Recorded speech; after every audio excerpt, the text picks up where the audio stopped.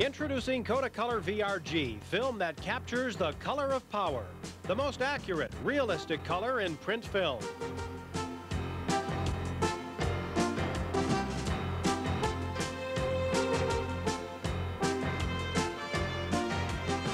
Kodak is proud to present One for the Books, the 1985-86 Minnesota North Stars.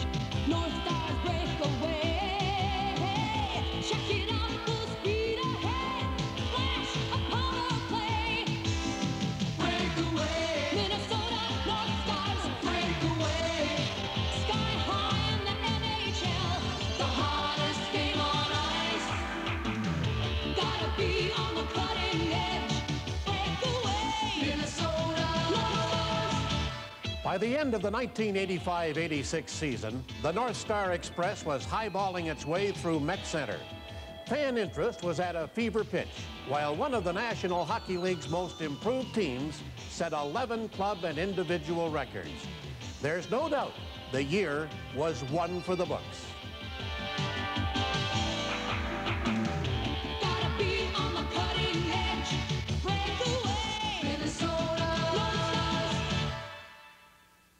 Hi, everybody. Despite getting off to a slow start, the North Stars became one of the NHL's hottest teams. From mid-December on, they were 12 games above 500. They won 13 more games and earned 23 more points than the previous season, making them the most improved team in the league.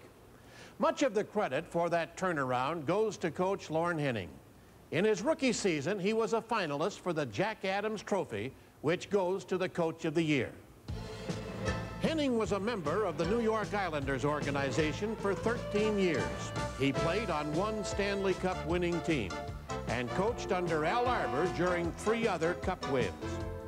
Henning coached a combined North Star Islander farm team one year before general manager Lou Nanne brought him up to Minnesota.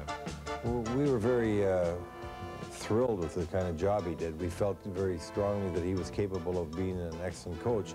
But until someone really gets that chance to prove themselves, uh, there's always a question how they're going to relate to the players, how the players are going to accept him, how he's going to be able to communicate and get his point across. And this is with every coach. Well, he came through with flying colors. Henning was among three finalists for Coach of the Year and admitted being a little uncomfortable about being in the running. I had mixed emotions. I really, um, you know, I'm happy because obviously the team, uh, you know, when you're up for Coach of the Year, the team's better, and you know, I'd take it this year if we get 20 points better. I'd love to take it, but uh, it's uh, it's one of those things where you know I'd like to have went two or three rounds farther in the playoffs, and I'd been very happy. Henning became known as a player's coach. He stuck up for them when warranted and never publicly criticized an individual. Yet on several occasions, he benched players who were not playing well. Well, I think at the beginning of the year we had a tough time adapting and everybody was trying to go their own way and then Lorne got us all on the same track and by the end of the season we were really working together and uh, everything was clicking.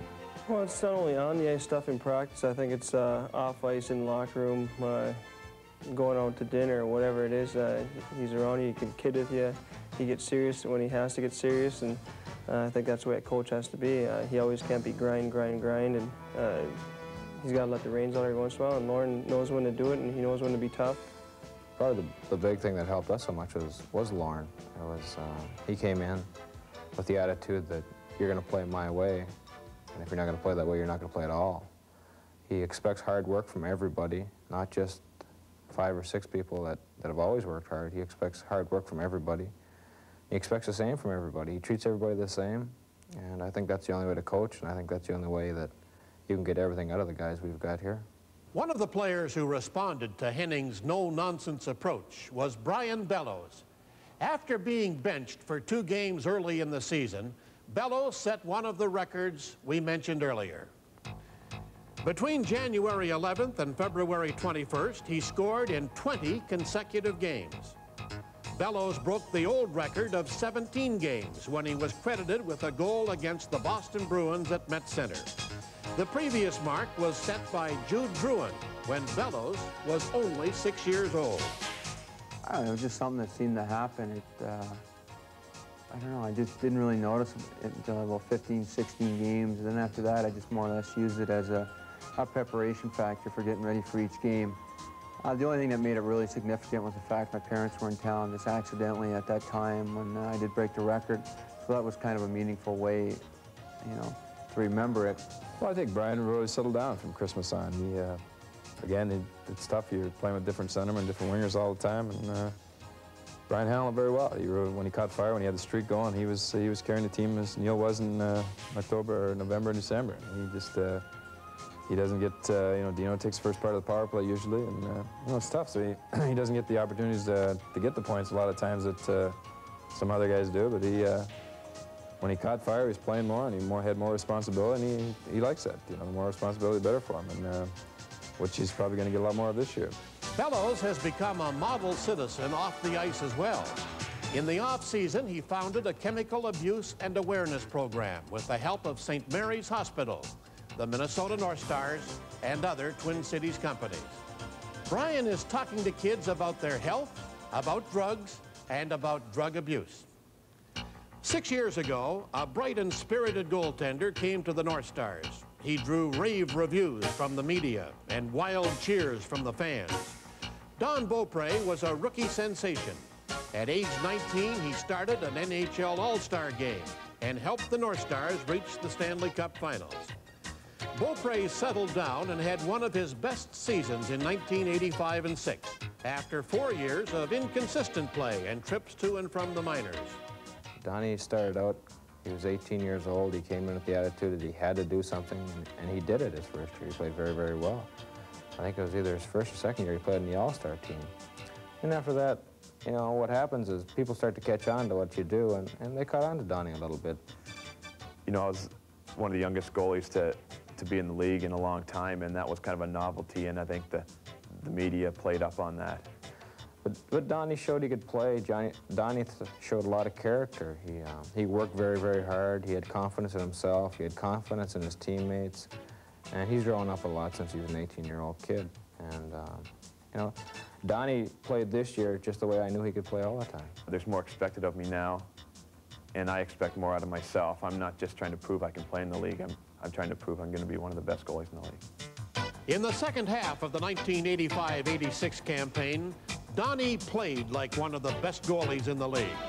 On February 6th, Beaupre began a club record streak of 14 consecutive wins. Although league records are incomplete, the streak may be the second longest in NHL history. The streak began with an overtime win against Toronto. It included a dramatic 4-0 shutout of Edmonton at Met Center and a 6-5 overtime win against St. Louis before ending on March 21st in Edmonton in overtime. Well, it's something I never really thought of until uh, it got to be eight or nine games, and it's something now I can look back on and kind of be proud of, and and uh, and uh, you know think of it as helping the team to turn things around. We we weren't going too good uh, before that streak started, and it's something I kind of stumbled into, but. You know, look back and, and think we won 14 straight games, and it got us back into the hunt for a division title, and, and uh, I think it was a, a big step in, in, getting the positive attitude and, and, get that winning feeling again in the room, especially going into the playoffs. The off-season trade of Gilles Meloche opened the door for Beaupre to become the team's top netminder. Meloche landed in Pittsburgh, and early in the year, it led to a memorable first meeting of two goaltenders who had become close friends as North Star teammates. You know, it seemed funny to see him in the other uniform. It uh, didn't seem right, but you know, once the game started, uh, you want to win as bad as ever, and uh, when it's all over, you, you, wanted to win that much more because when you saw him after, you, uh, you know, you, all you need to do is smile when you see him like that if you win, and uh, you know that night he got to smile. The Meloche trade worked out well for the North Stars, not only because it gave Beaupre a chance to establish himself, but also because it gave another bright-spirited goaltender a chance to shine in the NHL. Grand Rapids, Minnesota native Jon Casey. After playing for the University of North Dakota and being named Rookie of the Year in the American Hockey League, Casey started his first full North Star season with a bang. He was called up in November and won eight of his first 11 starts.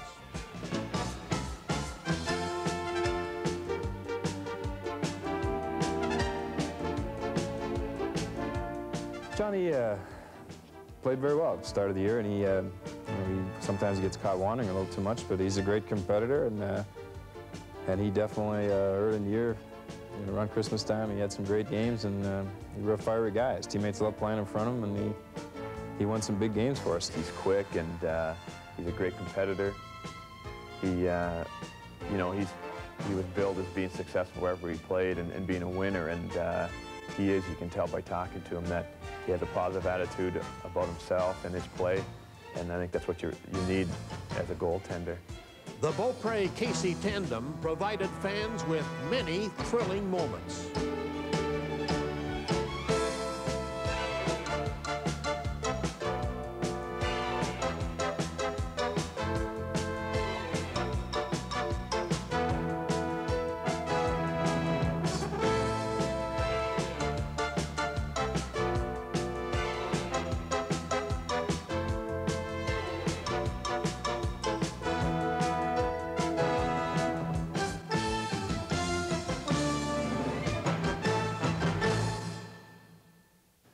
Like Don Beaupre, center Neil Broten was recognized for improved play in 1985 and 6. Broten had his finest season since joining the North Stars in March of 1981. He broke Bobby Smith's club record for assists, but more notably, Broten did what no other American had ever done, scored over 100 points in a single season. He reached that plateau in Toronto, Frank Mazzocco and Wally Shaver describe how it happened. Here's Hartsburg, now to Broten again. Centers it for Bjugstad, shot and a goal. Broten has his 100th point. Get that puck, Hartsey. Craig Hartsburg going to chase it down. Neil Broten becomes the first American in history to hit 100 points. Here's how it happened. Neil moving to the left, finds Bjugstad alone, and there's a blazing shot by Scotty Bjugstad, bagging his 42nd goal of the year and his second of the night. And the North Stars lead 5-0. Neil Broten makes history in Toronto. It's unbelievable, and uh, naturally we looked forward to the day that uh, there would be an American someday that would reach that goal and break it. And, uh, and so glad that uh, it was uh, Neil Broten that did it, and I think it's uh, an accomplishment that's it's just hard to explain. It just was just a great, great effort. Well, I didn't really think about it that much. You know, it was definitely the the newspaper guys and the TV guys, you know, build it up a little bit, bit little bit. I guess it's a, quite a thrill once you think about it. I guess, you know, when I look back and say I'm going to be 50 years old or whatever, and that I was the first American born player to score 100 would be a big thrill. And he just uh, continues to amaze people with the kind of abilities he's got people really don't realize or appreciate the skills of Neil Broten unless they get to see him as often as the people around here do. He's an exceptional player, and I think that uh, he's the type of individual that makes anyone he's playing with look good. And he's the type of individual that really is among the upper echelon of the players in the National Hockey League, and his past year has proven that. The two players who benefited most from playing with Broten were line mates Dino Ciccarelli and Scott Bjugstad. The trio combined for some of the year's most dazzling passes and scoring plays. And even though they weren't united until mid-November, they set team records for goals, assists, and points by a line. And Bjugstad, in just his second season, set a record for goals by a left winger, breaking Steve Payne's six-year-old mark. It's a big thrill for me to, to come in, and especially my just my second year, and have that happen. I guess I really didn't know about it till I was like uh, 35 goals or something, and by that time, if I had, didn't get 42, I was going to be kind of disappointed because things were going so good at that point. He's a strong kid. He's got a good shot, and um, anywhere in the slot area, he's pretty dangerous. He's very accurate and very, got a very hard shot. And uh, I know when I used to play with him uh, for the Gophers, I used to work on a shot a lot. He worked on a shot a lot here after practice, before practice, and um, him basically is the same, kind of the same way as Dino. Dino's, I think, a little bit more quicker on the net, but Scotty's definitely got a hard wrist shot and he knows where it's going. And I, I basically try to do the same thing to him, is get him the puck and let him shoot it.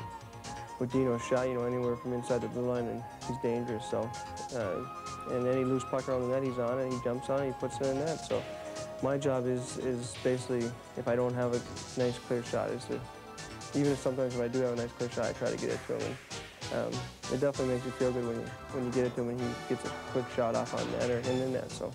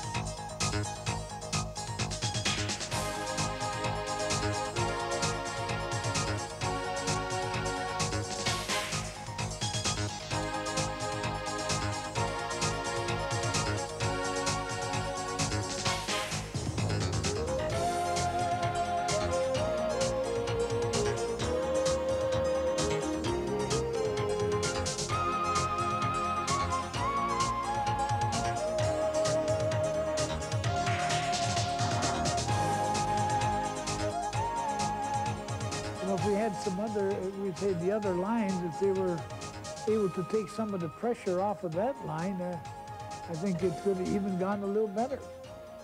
And uh, when you got an outstanding line, then you, uh, your opposition's going to defense that one line uh, and put their best defenseman against that uh, type of an offense and uh, sort of hurts them too. But apparently Neil overcame that along with Dino and Bjugstad.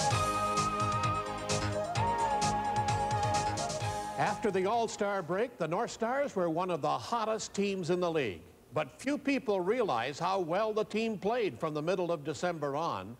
They had just been blown out by Edmonton and lost an embarrassing game at home to the New Jersey Devils when they traveled to Joe Louis Arena.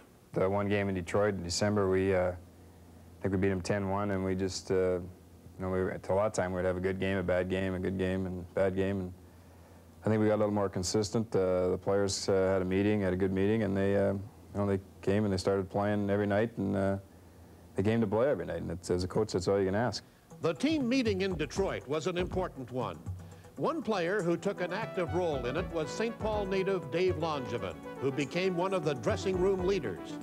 That night, he shared his thoughts about his new team with KITN Television's audience.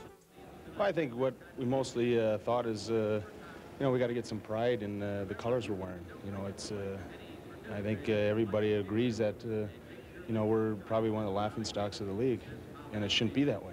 You know, we're a team that has a lot of talent, but uh, we have to get that desire and that heart uh, is also a big thing. You could have all the talent in the world, but if you're not going to go out and give it 100% and, you know, get hurt to win, your team's not going to go anywhere. And I think we all realize that each game now we have to start getting better and start learning to sacrifice for each other and caring for each other on a team because, you know, it gets tiring, you know, hearing about guys being traded every day. You know, it's, uh, it's no fun being traded. You know, it's, uh, it's a shock to yourself and your family, and uh, I just, guys don't realize that how good they do have in Minnesota. It, uh, the fans have been patient, which uh, I think they've been too, pa in, uh, too patient. I think they should demand more from us because they should be, we should be doing better. We should be up, uh, we should have 30 some points now, you know, but uh, we can't settle for uh, mediocrity when we have a team that's capable of being maybe first overall in the league. One man who knows what character is all about is defenseman Curt Giles, who played with Langevin at the University of Minnesota Duluth. More than anything is uh, the way he is in the locker room. He's, he's a leader, he's uh, very unselfish, and he works very, very hard. Um, then you look back on his record, he's played in four Stanley Cup teams. And he's obviously a winner. It's, it's, it's nice to see somebody come in who's been on a winning team, has that winning attitude, and knows what it takes. He's been there, he's been through it, and he can do it. Well, Davey, I guess uh, coming from winning organization, coming uh, winning winning the cup, uh, Davies he sacrifices his body. I mean, he's uh, nobody gives more than he does. He whatever it takes to win, he does, and that's uh, I think the biggest thing that uh, a lot of guys realize. Although the team played better the rest of December and throughout January, they still had their ups and downs. Following the All-Star break, they picked up a home ice win in overtime and then got ready for a tough road trip to Philadelphia, Montreal, Toronto, and St. Louis. Looking back, I think we played in Philadelphia. That was one of the biggest games. Johnny Casey played outstanding, made some big saves, and uh, we got a tie in their building. Then we came in and uh, you know, Curt got the overtime goal in Montreal, and the guys, uh, we got some momentum from them. Casey indeed was outstanding at Philadelphia, where after spotting the Flyers a two-goal lead, he shut their pounding offense down. Brian Bellows scored two power play goals. The second tied the game early in the third period. Then it was up to Casey to preserve the tie with two great saves late in the game.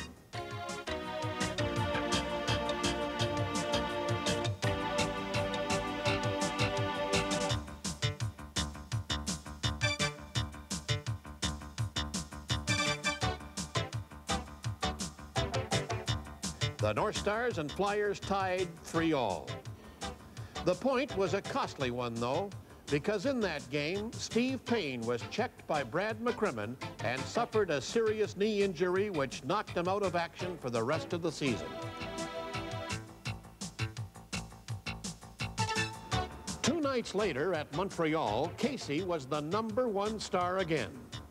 Meanwhile, Tony McKegney tipped in a Dino Ciccarelli centering pass to give the North Stars a 3-2 lead with two minutes left. The game winner was scored on a daring move by a defenseman who makes few offensive rushes, Curt Giles. The North Stars won 4-3 and went on to take five of a possible eight points in the successful road trip. It's not easy to silence the noisy crowd in the Chicago Stadium, especially when you're wearing the green and gold of the North Stars. But that's what a 20-year-old man from Rhode Island did on February 19th. Life in the NHL had not been easy for Brian Lawton since being drafted first overall in 1983. Working like a master craftsman with Dennis Maruk and Brian Bellows, Lawton scored three power play goals. The last one, midway through the third period, marked his first career hat trick. More importantly, it was the game-winning goal in a 6-5 shootout.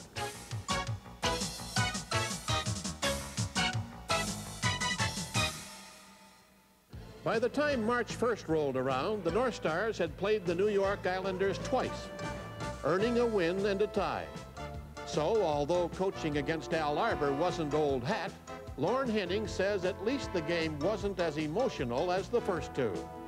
Crowd pleaser Willie Plett scored on a power play in the opening four minutes to give Minnesota the lead. But the Islanders then reeled off four straight goals, forcing the North Stars to come from behind for this victory. Plett's second goal of the night tied the score and started a third period rally, while Neil Broten put the North Stars ahead to stay.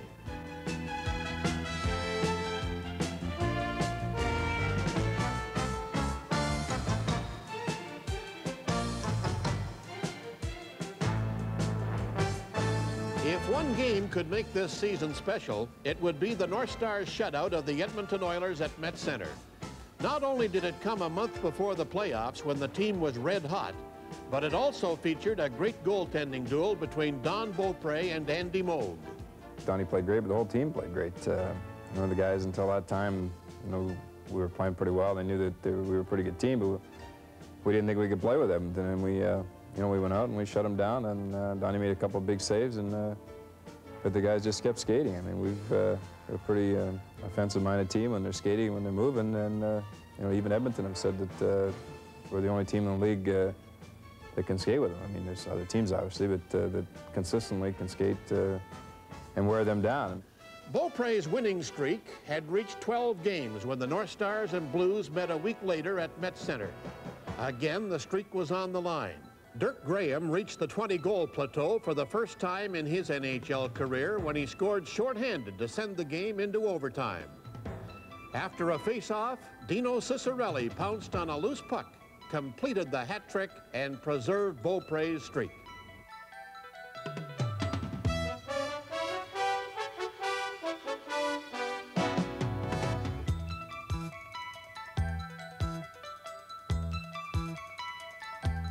On March 19th, the North Stars scored four unanswered goals to rally for a 6-5 win over the Calgary Flames, who made it to the Stanley Cup Finals. Scott Bjugstad fired in three goals for his third hat trick of the year. Meanwhile, it was another great game for Beaupre, who earned his 14th consecutive win.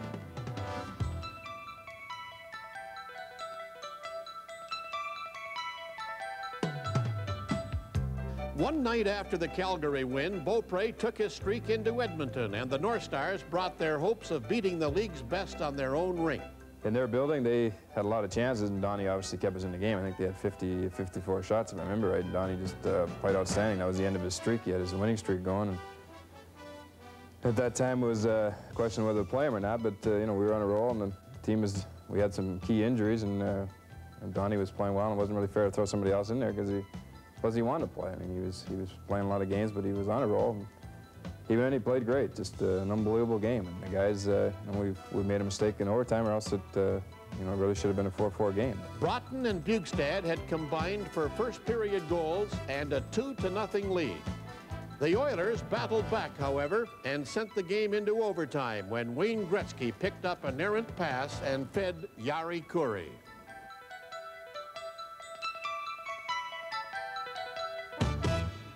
The 1985-86 regular season was winding down when the North Stars and Blackhawks met for the final time April 2nd. It was a wild shooting spree in which seven goals were scored in the first period alone. The North Stars won 7-5. With all that offense, it's no surprise that two of the most talented players in the league would have big nights. Dennis Maruk and Kent Nilsson combined for two goals and two assists each in this win. In three seasons with the North Stars, Maruk has scored 60, 60, and 58 points. Remarkably, his plus-minus improved by 30 goals over those three years. Meanwhile, Nilsson's four points gave him 60 in a season interrupted by injuries. The North Stars won their last two games of the regular season, and they held first place after their 80-game schedule, which ended on a Saturday night. However, the following night, Sunday, Chicago, with a game in hand, defeated St. Louis and took the Norris Division Championship, finishing a point ahead of Minnesota. After that strong second place finish, the North Stars were automatically pitted against the third place finishing St. Louis Blues in the opening round of the Stanley Cup playoffs. And these two teams go back a long time in playoff competition. The North Stars have played the Blues more than they have faced any other team in their long 20-year history. Well, it was another great series, as they usually are. And this time it was the Blues who emerged triumphant, winning the series three games to two as it went the maximum number of five games. And now it's on to 1986 and 87. And what does that hold in store for our Minnesota North Stars? Hopefully, they'll stay a little healthier physically. They had some crippling injuries last year, which took people like Steve Payne, Tom Hirsch, Todd Bergen out of the lineup for the entire season. North Star fans still have not seen Todd Bergen play a game because of a severe muscle injury in the abdominal area, which kept him out all last season. Kent Nilsson suffered a string of injuries in and out of the lineup all season because of them. Hopefully all those players will be healthier. And you know, hope springs eternal in the minds of hockey fans. And this year there's something really big, I think, for North Star fans to look forward to. A newcomer drafted three years ago off the Czechoslovakian national team, still just a kid, 21 years of age, František Musil, coming over in July from Czechoslovakia, and he'll appear in a North Star uniform this coming season. From what we've heard, he's something to really get excited about and to look forward to seeing. The coaching staff, of course, firmly in place with people like Lorne Henning, Les Jackson, John Paul Parisi. They're comfortable with the players, vice versa. Everything's shaping up for a good, strong start to this upcoming season. but always the second year is the toughest. And, you know, we got some things that we got to keep a handle on. We got to watch and make sure that uh, we keep improving and the guys don't get uh, get satisfied. And you know, hopefully we can get to the next uh, to where Edmonton is and uh, up to that next level and get to the top two or three teams in the league. And then uh, you know, that's what it's all about. We're working together a lot better than we ever have, I think, since I've been here. And uh, we want to win for each other, I think is the biggest thing. And we're just going to work hard and we're going to make things happen this year. We're not going to wait and see what happens. We're going to make things happen. I think we're going to have a good hockey team. I think we're going to have a winning hockey team. And uh, hopefully it'll be entertaining hockey. I think the, the point that's come across is, through all these questions is that everybody is willing to work hard.